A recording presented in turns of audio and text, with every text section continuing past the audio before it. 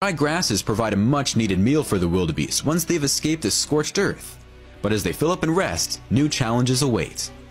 They weren't the only ones who had been displaced by the flames. The speedy cat, resembling a cheetah with his spotted coat, disappears in the dry grass. And he's not alone, as he's joined in the chase by his brother. This young wildebeest flees for his life, but it is outrun by the fastest land mammal. Plains predators are a constant source of death for many of the residents. A cheetah coalition of five cheetahs attempts to hunt a large wildebeest. You can see how strong the wildebeest is, because it is still standing and attempting to free itself, despite being surrounded by five felines. They'll have a bigger problem once the cheetahs bring it down.